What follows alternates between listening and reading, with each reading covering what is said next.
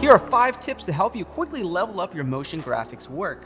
We're going to talk about how to boost the design value of your project all the way down to animation ideas. Hey, what's going on internet? Josh Noel from Sonduck Film. Please be sure to drop a like on this video. It helps us out tremendously. And let's jump in and talk about how to level up our motion graphics. I would like to mention that the ideas we're going to talk about in this video can be translatable over to other editing software like Premiere Pro, DaVinci Resolve, so this is not just bound to Adobe After Effects. So the first idea I want to talk about is a design trick to help spruce up your compositions. So for example here we have these side graphics that make a huge impact on our work. So for example if I remove them, our work is going to have a little bit less detail, but by having some side graphics into your image, whether that's in form of text, or general graphics or a logo is going to help create some balance in your work and it also adds a little bit of a nice aesthetic design value to it as well. And we take a look at another example here by using these side graphics it definitely makes it look like we did more work than we did and it takes away from the plainness of this composition so without the graphics here it looks very clean but we have a lot of white space around our composition so it's really up to you how you want to use techniques but by adding some side graphics it definitely makes a big impact on your work. So the second idea I want to talk about is your text or graphic size. So for example here if I go ahead and make this full screen. We have our center text here,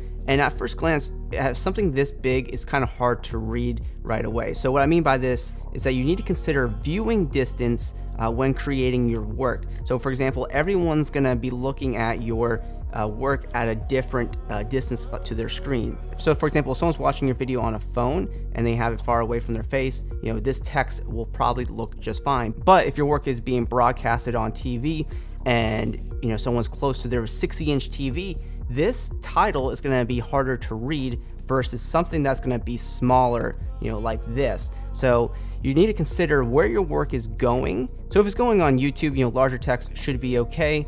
Uh, but if, you know, if your work is going to be broadcasted, obviously in theaters or um, on TV, you need to consider the text size because right here I can look at this title all at one glance without having to move my eyes. So that's something you need to consider. I want to take a look at a more extreme example here. So we have this big piece of text taking up the entire composition um, and it's definitely not user friendly to read this. But if we scale it down and take a look at it at a smaller view, I can read this entire thing very easily without having to move my eyes or my head. So take in consideration if you really are worried about readability, smaller text will be easier to read versus you know, text that take up a larger portion of the screen. All right, so the third idea we need to talk about is how to approach a full motion graphics project. How do you do it? So for example, a lot of people are gonna create their first graphic and then animate it right away. The very first thing you should do in your project is create all the graphics that you need and lay it out first before you animate anything. This way you'll know where everything goes and it's also a much faster workflow because you're thinking about design first. You're gonna get all those elements out of the way and then you're only thinking about animation. So once your layout's done, then you can approach the animation of all your graphics.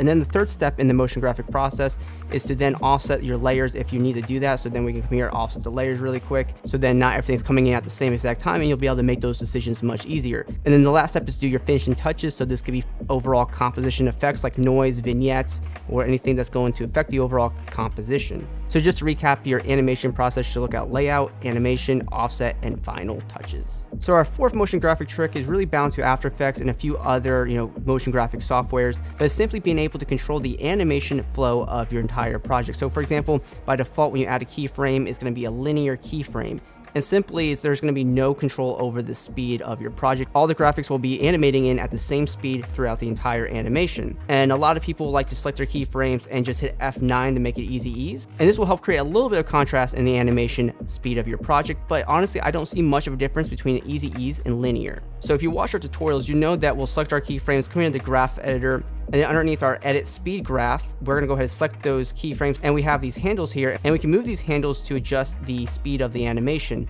So I like to bring them in all the way in the center to create a snapping animation. So from here, we're gonna have a very slow start and slow end to the animation, but it's gonna have a very fast pace of the animation in the center of the keyframes. So here's a before and after with linear keyframes and the animation keyframes that we did. So be sure to go ahead and create your style of animation with the graph editor. So the fifth and final motion graphic trick that I wanna talk about is being able to animate in your scene or are animated out with a very quick matte swipe.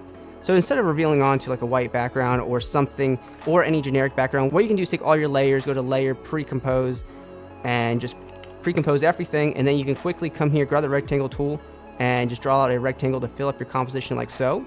And simply, you can hit P on keyboard for position, add a keyframe for it, uh, and move it forward in time, you know, maybe to like 12 frames or something, be really quick, and just have this move off the composition like so And as before, we'll go ahead and make these easy ease and do that quick graph editor animation. And all we need to do is toggle switch the modes until we get that track matte. And for the pre-composed layer, we set the track matte to alpha matte. So here we'll have this nice quick swipe for a great in animation for our entire composition. It's really quick and easy to do that, and it does add a little bit of value to your work. And to close out our video, if you're looking to save time while producing awesome work, we have over 15,000 templates for you to use in After Effects and Premiere Pro.